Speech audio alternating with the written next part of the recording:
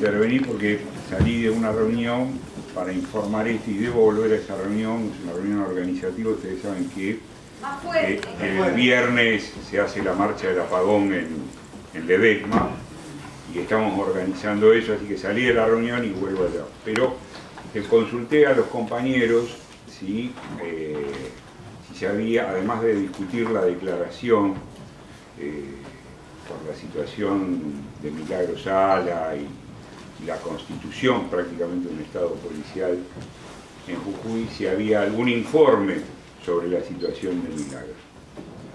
Eh, nosotros estuvimos la semana pasada en la cárcel, eh, fuimos dos compañeros de, de, la CTA, Gustavo Rolandi, que es el secretario de organización, quien les habla.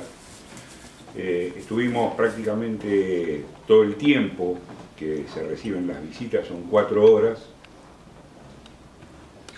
entramos con, con los familiares de, Milagro, en ese momento todavía Raúl estaba en libertad, su compañero. Eh, ¿Cuáles son las condiciones de la cárcel de Milagro Sala? Se trata de una cárcel que semeja o quisiera ser una granja, está en un, en un gran terreno, por supuesto que alambrado, con guardias, el servicio penitenciario, etc. Hay pabellones para adolescentes en otro lugar, pabellones para hombres en otro lugar. A pesar de que varios medios publicaron de que Milagro en su celda tenía este, computadoras, este, ¿no? Tiene absolutamente nada. Hay un televisor que además comparte con, otra compañera de reclusión y en general tratan de compartir el televisor que llega de, desde afuera, se les permite ver en determinadas horas. Los familiares llevaron la, comida y entonces se comen en un patio, al aire libre, entre comillas. Todas la, las reclusas hacen lo propio con, con sus familiares en mesas de hormigón, bancos de hormigón que hay en este patio durante ese transcurso no son molestadas, no son importunadas por, por la guardia, por el servicio penitenciario. Este, hay sí una, una, una, previa, uno tiene que pasar por distintos controles, como ocurre en cualquier otra cárcel.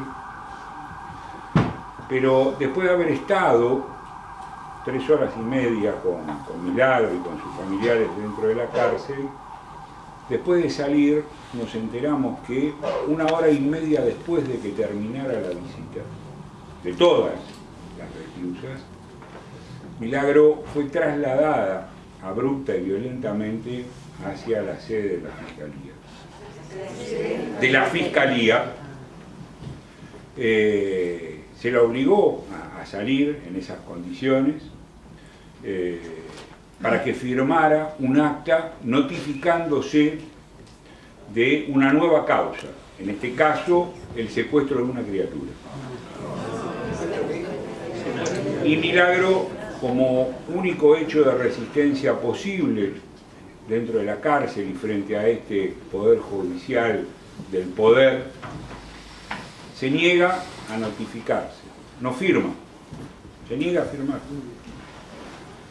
y el fiscal le dice que está obligada a hacerlo y Milagro le dice que no va a firmar.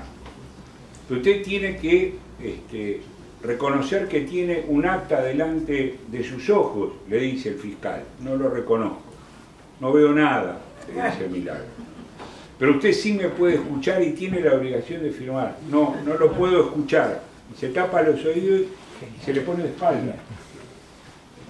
El tipo se saca se pone completamente loco y lo empieza a amenazar.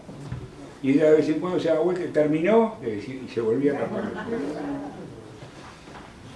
Digo porque ya en ese momento, hace una semana atrás, se insinuaba lo que iba a ocurrir en estos últimos días.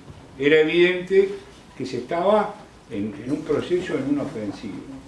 Cuando nosotros llegamos a Jujuy, nos fueron a buscar dos compañeros al aeropuerto y dice, vamos a pasar antes por un gran paredón donde los compañeros están pintando un mural pidiendo la libertad de Milagro.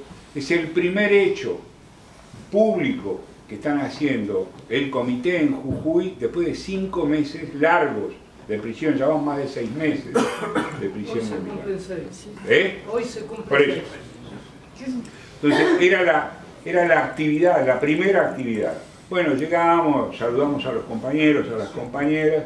En el momento en que nos estábamos sacando fotos con todos ellos, aparece una pick-up de la policía de la provincia con uniformados.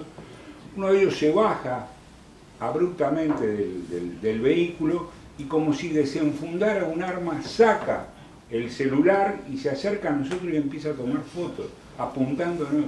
Una actitud absolutamente intimidatoria. Al día siguiente hicimos una conferencia de prensa ahí en la calle. Y mientras los pocos periodistas que había se acercaban al grupo de compañeras y compañeros, muy reducidos, no llegábamos a más de 25 en esa conferencia de prensa, volvían a pasar los móviles policiales tomando fotos.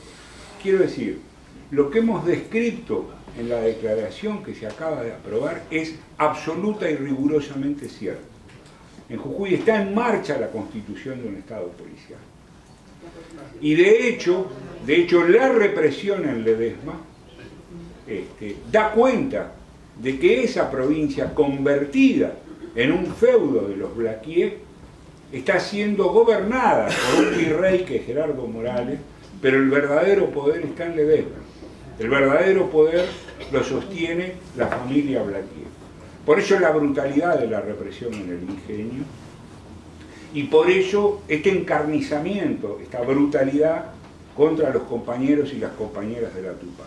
Todos ustedes saben, las movilizaciones de la Tupac, en- tanto en Jujuy como en otras partes del país, han sido normalmente multitudinarias. Han diezmado con el terror la organización de los tupaqueros. La han diezmado. Porque de un día para el otro, 20.000 compañeras y compañeros perdieron sus trabajos porque eran cooperativistas. Y los perdieron. Venden la ropa para comer. Hay puestos, tiendas en, en la terminal vieja de Jujuy y los compañeros van a vender ropa para poder comprar un plato de comida.